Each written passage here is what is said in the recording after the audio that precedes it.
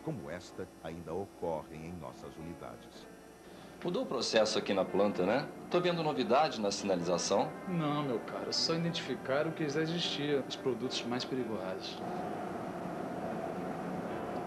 Mas não mudou nada mesmo? Zé, tem H2S. Me diz uma coisa, por que você não faz o Projeto Acesso? Projeto Acesso, uma história de sucesso em educação na empresa.